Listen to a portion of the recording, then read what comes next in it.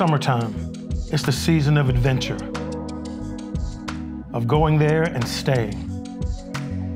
We all have different places to go this summer.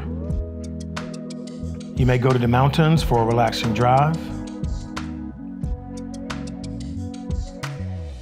But no matter where you go this summer, get there with Everett.